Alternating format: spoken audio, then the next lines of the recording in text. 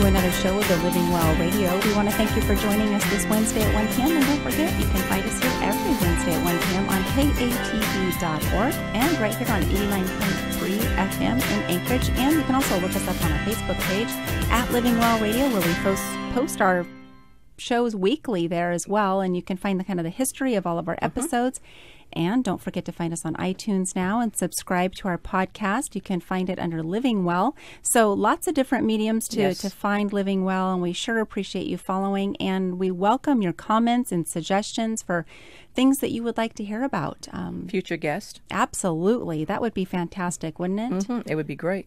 And uh, They can find all the um, the blogs that have been written at akchristianwomen'sministry.com. They're Yes. all there. And speaking of blogs, we're kind of continuing with that series Mm-hmm. today where we are um, getting to know the voices behind the blogs. Mm-hmm. So many of you have probably been following the blog, and if you haven't, um, Betty's giving you the website so you can look that up and follow it there. But um, we're just enjoying getting to know some of these writers and their heart behind some of these posts and uh, just bringing a voice to that. So we want to welcome back to the studio today Rosalynn Lasley. Hello, everyone. Thank you so much for being willing to come back this week and talk with us a little bit about Mother's Day and just all Yeah. things motherhood and kids and all of the lovelies You know, that it's surround funny. that role. When I was little, if you asked me what I wanted to do when I grew up, I would say I would just want to be a mom. That's all. That's it. I had no idea what I was getting myself into. Do any of us? well, I don't know. I think if you did, you might.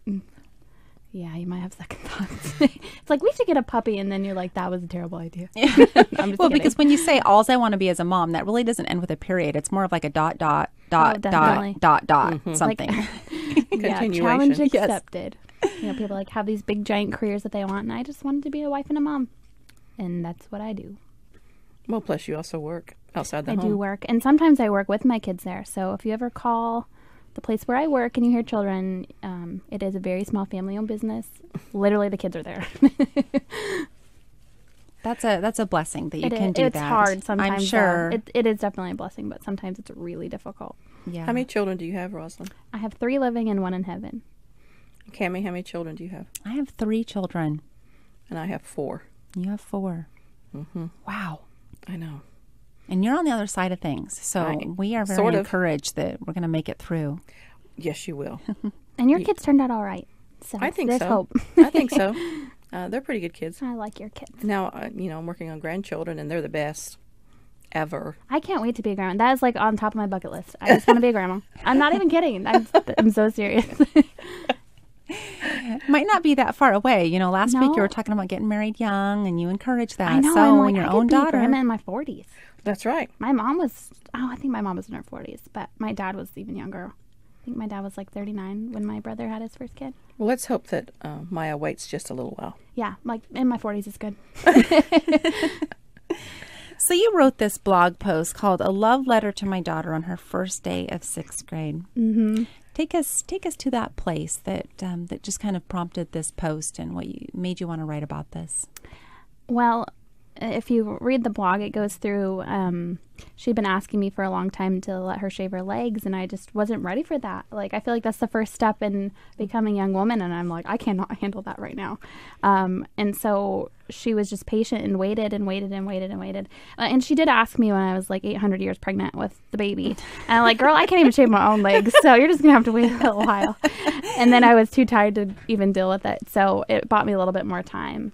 Um, but then finally I was like, you know, she's waited and she's respected me with me telling her to wait. And so finally I decided to, okay, we can do this together. And then I was just like a big old ball of emotion after that, like shaving cream and tears everywhere. Plus, I used her dad's dull razor, so that's probably why I had extra tears. What do you think is so monumental about going into sixth grade or into junior high?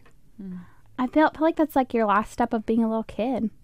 And I mean, it helps that I really love her teacher, and I really liked my sixth grade teacher. It's so much so that um, it seems silly because we had a lot of really amazing people that came and visited me when I had my accident, but every day it was like a little treat. Like somebody would knock on the door and you open it, and you're like, "Oh, who's there?" And it was my sixth grade teacher, and I never expected that she would have come all the way up to the hospital to visit me when I had my accident. So just to know that she was a part of my life then, and still as an adult, just made me think of like how important this time is in Maya's life too.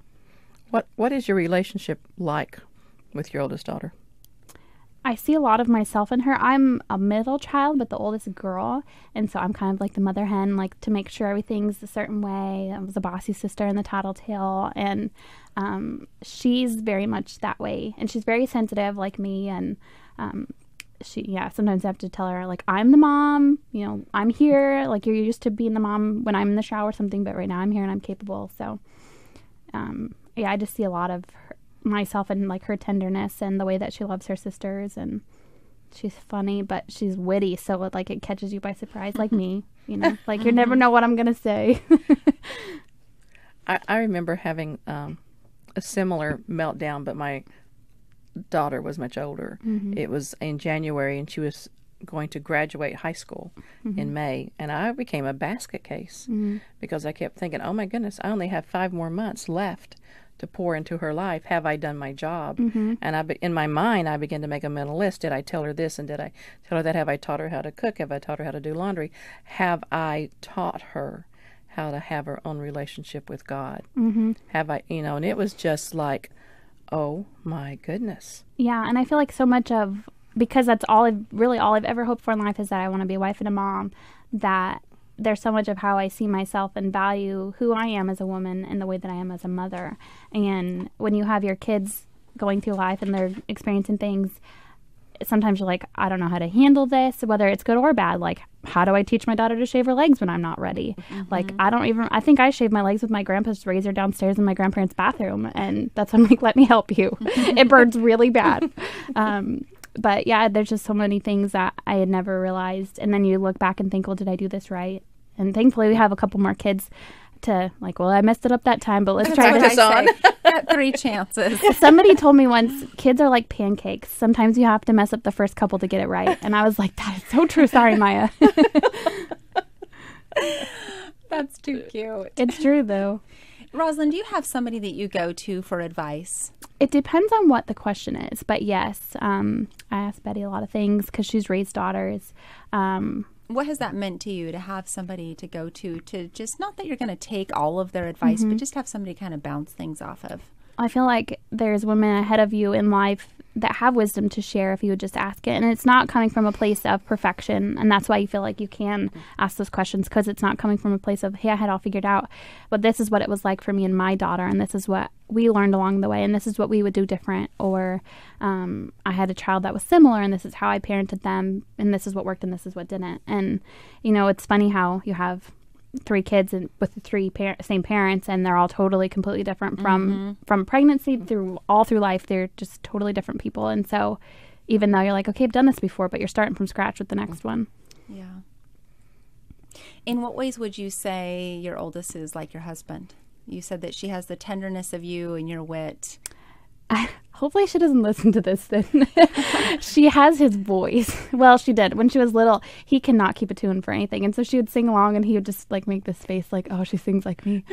Like yeah. But it's better now. She's had some solos and stuff so it's better. But for a long time she sang like her dad. And we're like oh That's cute. and she's very athletic like him. Like i am not athletic. I'm not competitive. And she very much is so. She's very tiny. she is very tiny. She always tiny. has been her friend was over one day and her uncle said is that your babysitter? Like no they're the same age. So she's just a little bitty thing. What's one of your greatest fears as she goes into the teen years? that she'll make some of the same mistakes i did and try and fill those voids in her heart with people and boys and not the lord. And some my fears is like having to be honest with her about the things that i messed up on because those are the things that sometimes you still work on trying to forgive yourself for those things Yeah. say like don't make those mistakes that i did and it comes like your tears are genuine so your kids see like wow you're an adult and that still bothers you that hopefully they'll listen like yeah i don't know Yeah. Yeah. and i hope that she'll be able to talk to me as she grows up because there's times in my life that i wish i had a different relationship with my mom and i do love you mom if you're listening but there's some things we just i felt like i couldn't talk to her about it and so i hope that my approach of springing things on her isn't so abrasive that she feels like she can't talk to me Mm-hmm. and that she'll be surrounded by godly women. So if she can't talk to me, she has um, a little bit women that are a little bit further ahead in life that somebody other than her peers that have some experience that will point her back to Christ with their answers to her. Yeah. You know, I I think that when you're parenting, I mean, any of your children, but particularly your teen girls, you can't help but parent from that standpoint of the mm-hmm. consequences that you suffered from the mm-hmm. mistakes that you mm-hmm. made. And you know, I speak from that from my own life as well. And you just can't help but do that. It's it's our own experiences, and we we parent from that. We do not want our children to make the same mistakes we did. But even like there's sin mistakes, of course, but then there's just relational mistakes. Like Sure. don't be a mean girl. Right. Um, don't fall in that trap of being that nitpicky girl that's worried about what everybody else is doing or what they're wearing or who they're friends with or what boys they like. Like if they don't like the same boys as you, great. You don't you don't want your friends liking the same boys as you anyway. So Yeah, yeah, just being overly critical. uh, that's definitely a a problem. How are how are you teaching her to not be a mean girl? I said, don't be a mean girl. I read the text on her iPad and then I took it away for the rest of her life. Are you giving her specifics to follow, or just usually it's just seeing a situation and explaining like how I would do it different. Like, um, there's a particular friend that I see in certain situations, and I just say, you know, she's kind of critical of these other girls. Like, she's worried about what they're wearing or who they're hanging out with, and like, don't you realize that people aren't gonna like you when you're like that? Like, nobody's gonna want to be your friend if you're just telling them how bad their hair looks. Like, why don't you find things that you can love about people? Because I mean, your hair in ten years, your hair is all you guys are gonna have bad hair. So you know, just worry about other things. And I don't know if she always will listen to me, but Well, I think the most important aspect of that is setting that example. You know, um, and I think it helps too that like I don't sound try to say this from a conceited point of view, but I'm still friends with the girls I was friends with in junior high. Like my same group of friends, we're still close. Um, and I think that says a lot about the friendships that you make. Like they are important and they do shape who you are in life. And um, if you surround yourself with girls that are similar, that are you know looking for the Lord and they're um, maintaining certain values that you have in place, then it makes it easier for you as you go through life. I know this um, this is on uh, before Mother's Day, and we were mostly talking about mothers, but I'm just curious about um, the relationship your daughters have with their dad. Oh, I always, as bad as it is, I always joke and say if things didn't work out, they would always pick their dad, and they don't. They're like, yeah, we totally would. Like he, they, he just loves them in a way that I can't even fathom. Like I've understood. It's gonna make me cry. I understand God's love by seeing my husband's love for my kids. Because I didn't know what that was like at home, like what a father's love should look like, and so I've learned that from watching him love our daughters. That's so sweet, It, it really is. so sweet. I know when I was growing up, um, my mother was the greatest example I could have of how to be a wife, how to be a mother. Uh, she taught me how to cook, and how to clean. You know, she uh, my mother was what you would call um, the typical Southern lady. Mm-hmm. You know, she she was very much a lady, and uh, and I don't know, I, is is that's what I try to do in my home with my children. But you know, that's been uh, 15, 20 years ago. Um, is that still happening in homes?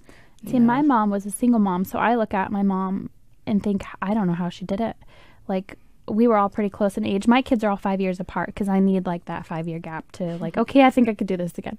And I'm like, what was I thinking? Um, but my mom, you know, she was making sure her homework was done and somebody needed money for some activity and trying to keep food on the table and all the bills paid. And I just look at my mom and think, man, I have no idea how you do it because when their dad's gone, I'm like, who is going to put you to bed? Like, I don't, I just, she's amazing to me. And I mean, sure, there's things that, you know, growing up you think, w- wish would have been different. Or even my mom, the other day, we had to talk about how she wished she would have done certain things different. But you do what you can at the time and then you ask for forgiveness when you've messed it up. And that, I think that goes for any situation. I think that's important for a, a parent, mom or dad, to mm-hmm. realize sometimes we do have to apologize mm-hmm. for the things we say or how we say them to our children, if for no mm-hmm. other reason than to teach them that there's going to times when they're going to have to say, "I'm sorry." There's I a lot of humility um, by being humble, by saying, you know what, I yeah, I'm your mom, but I totally got this situation wrong, and I'm sorry. You know, I'm sorry for how I spoke to you, or I'm sorry that I overreacted about this, or I'm sorry that I was short to you because I had a rough day at work. Um, whatever the situation may be, it's hard. Like saying I'm sorry is probably one of the hardest things I ever do. And you could, my husband will say that. Like she will not say she's sorry unless she means it. So having to apologize is hard for me because sometimes I'm not sorry. and if I ever tell you I'm sorry, I genuinely mean it because I will not say it if I don't mean it. I think too, um, you know, it's such a delicate balance between being your daughter's friend and then being her mother. And I'll never forget um, somebody sharing with me when she was just kind of mentoring some younger girls, and they just quickly told her, you know, we have friends. We need we need a mentor. And so that tells me that our young girls and even our daughters, they they desire that. And as difficult as it can be at times to be that, um, we need to realize that they do have their friends and they need us to be their mom. And for me, one of my biggest struggles as a mom is wanting to protect my kids from everything, um, in situations that are hurtful. Or for even, um, I was just telling somebody the other night, like when I lost the baby, I didn't want to tell the kids. I didn't want them to see me cry. I mean, they obviously we were going to know that the baby wasn't coming, but like, how do you tell them that, and how do you let them see your heart be broken because you're their mom and you're supposed to be the protector, and then here you are falling apart. Um, but in those hard times in those situations where you have to ask for forgiveness or the times that like life is falling apart around you um, that's when god is real to them they see you hold on to your faith and you live it more than just what you say um, and our oldest daughter never really liked to talk about when we lost the baby and she still doesn't talk about it much but um, i remember one day she came home from school telling me about a conversation she'd had with her teacher and she said you know mom God grew your faith when you lost the baby, and I saw it so much. And I just thought, well, I'm glad I let you see me be a big old mess because God was real to you then.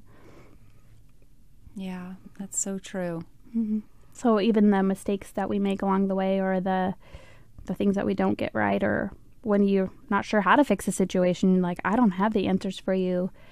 Sometimes you're not meant to. Yeah, and you know, I know that I pray very often asking God to fill the gaps because I know I leave many of them. You know, you can only pull from what He has shown you through your own life and your own experiences, and um, that's the best we can do. How do you um, how do you teach your children or point your children to um, press into God when things are not going right? When when I mean, all of our kids are going to be hurt, and they're all going to be disappointed.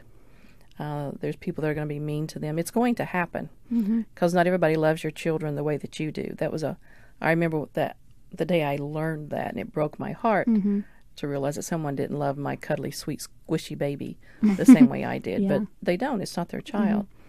So what do you do? Both of you. I'm asking both of you. What do you do, and how do you, how do you do it to teach show your children during these times to press in closer to God? I think I'm still figuring out what that looks like because, I mean, our kids are all different ages. Maya's almost 12, um, Ava's six, and the baby's one.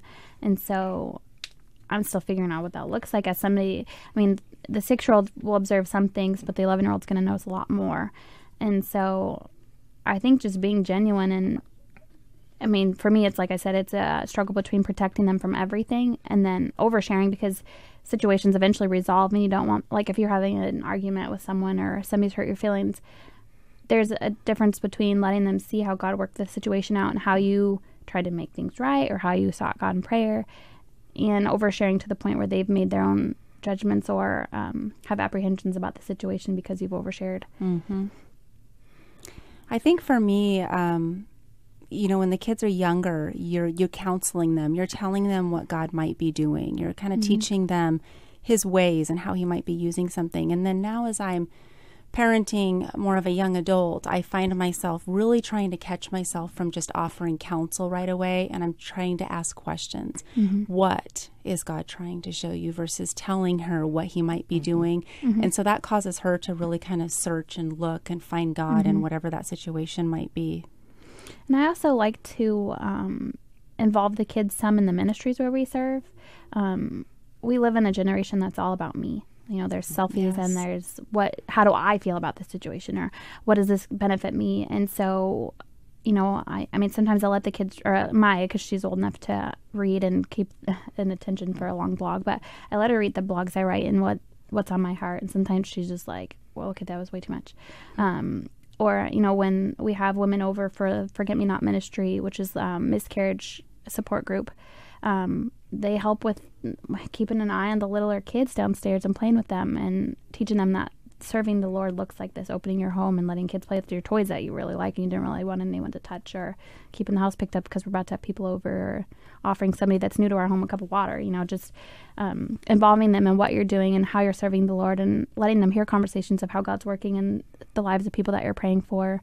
Um, because that's what makes it real to them. Like they're seeing God at work rather than you're just telling them. Because you can tell them till you're blue in the face, but if it doesn't seem like it's real and it's not being lived out in your home, then it's not going to make any difference. As moms, were there things that, and are there things that you specifically uh, want to be sure that you teach your children?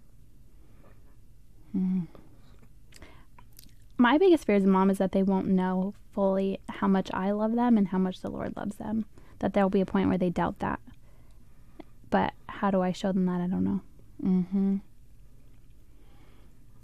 Oh, I'm having a hard time uh, summarizing it into one thing. Of course, there's just so many things. I think my greatest fear would be that they just want to try it their own way. Mm. You know, even though it looks like they're on that path, that's just such a fear that something would cause them um, to just feel right in their own eyes in a situation versus looking for God's discernment and direction.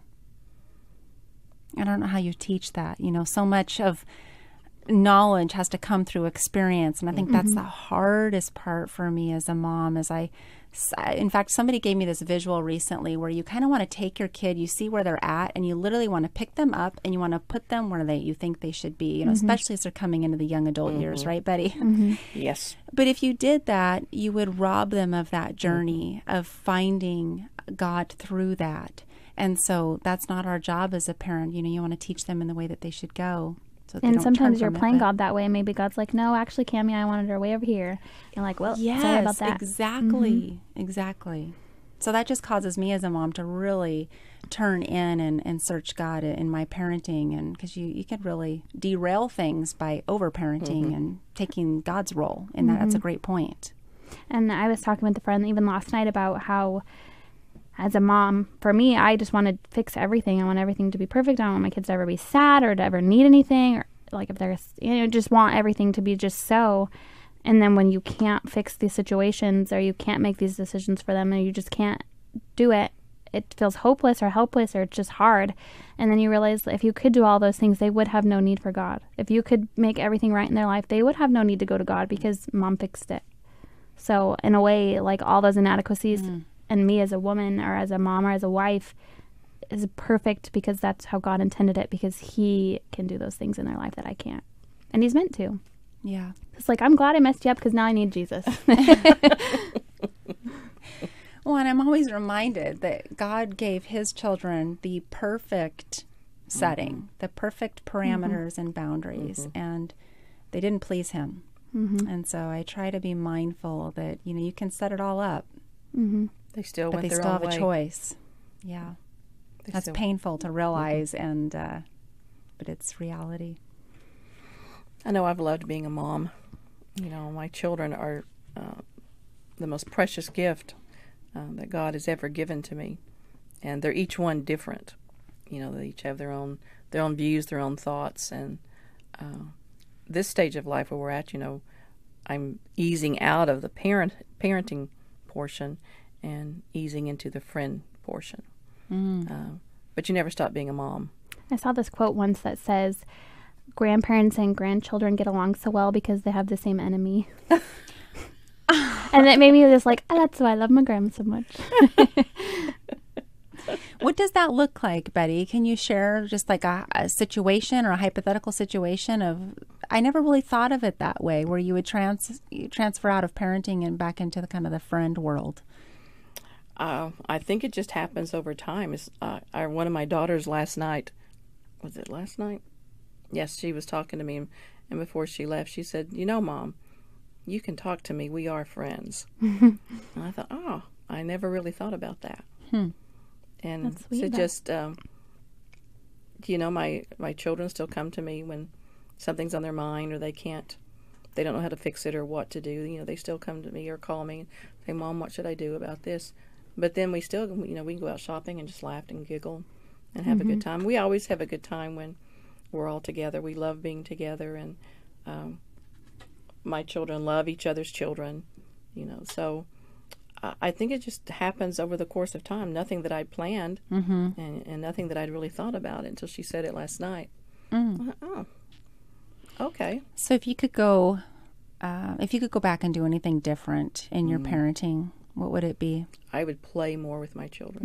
Mm. That's something I struggle with Mm-hmm. because I work outside of the home. So for me, it's like there's so much to accomplish in this two short hours before you have to be to bed. Like you have to be fed and you have to have your homework done, and somebody needs a bath because it's been like five days, and you know, like and there's oh, no clean underwear. yeah, because mom can't do laundry on Oh, Saturday well, just because that's rewear those fun. Yeah, we'll do like borrow your sister's. I'm sorry she's smaller than you. Like It's okay to have a wedgie for a day. yeah, like whatever. Borrow dad's. That's what I do. You know, like, so roomy.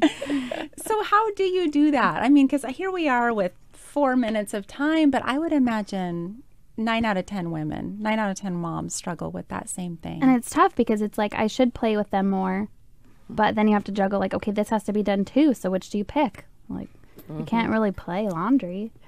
Um, yeah, so that's do you have any advice for us on that, Betty? You say you would go back and play more. Would you have sacrificed the things? I that, would have how would you have done sacrificed that? um, keeping my house as clean, oh, you should see my house. Not a problem. or I would have sacrificed. Uh, I used to. I can remember. I would not go to bed and leave dirty dishes in my sink. Not a problem with me I would either. give that up, and I would play more with my kids. And then just use like one day out of the week to do all of that stuff. Uh, Paper don't plates? I don't know. Paper we ha- we've had a lot of? McDonald's the last two weeks because of the pageant. Like we're not only home long enough to quick eat some McDonald's and then be right out the door Uh-huh. again. Sometimes I wish that I could just have somebody follow me, literally, for I don't know. I think three days would be sufficient. You know, and point out, don't do this, do Not this. me. I would cry. I would not like that. I would, could really use that. I'm like, can you just pick up the stuff behind me? That would be great. You know the um, where that might have been my shortcomings. That was my husband's strong point. Mm-hmm. So he filled in the gap there. That's he bless was a, the fun person in our family. That's why they would pick him if things didn't yes. work out. They I spank, he'll play. my children would ten to one rather go any place with their dad Mm-hmm. as with me because it was just fun time. Whatever they wanted, dad would do, and Mama was the one. Mm-hmm. I know no, we can't do that. Yeah, no, our we kids are like do that." hiding in the racks at the grocery store. I'm like, is this what you do when you're with your dad? And he'll take all of them to the store. He doesn't care. That's because he's not watching any of them. Oh, mine would go to the grocery store with us with the, all the kids. I'm embarrassed to tell you this. he would go uh, at one end of the aisle, and one of the daughters would have a cart. He would throw things into the cart. They made a game out of it. I remember watching him throw uh, loaves of bread just down the aisle, and I would go somewhere else. I was so horrified. I was so embarrassed. But he made it fun. Mm-hmm. You know, he, he made it fun for the kids all the time.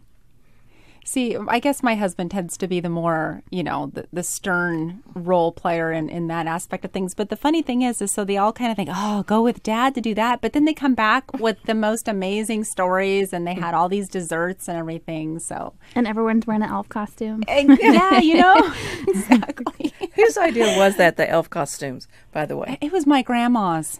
Are you serious? No lie. I have a grandma. Pebbles, like if you're listening, you know it was you. She shipped them all up here. that. that is No way. And I thought for sure they weren't going to fit. Especially when I saw that they were a little bit of a slim fit. You know, we got some Oh, bigger but they're fellas in our house. stretchy. Very stretchy. just a little big, just a little big fellas. I don't know if Macaulay will listen to this, but we're thinking of wearing them to DC in May to pick Do her it. up. You have to get her Isn't mom all you with sure wears- you're, you're going to make your son May? do that? No if comment. he does that, he is a good boy.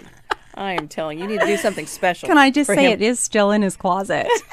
He didn't burn it, so there's hope. See? I thought it was great. I did too. I'm like, I wish somebody picked me up from the airport like that. It'd be the best day ever. I thought that was hilarious. I loved your husband. He couldn't get on the escalator. He had a pulled hammy for weeks after that. He was not fit for splits.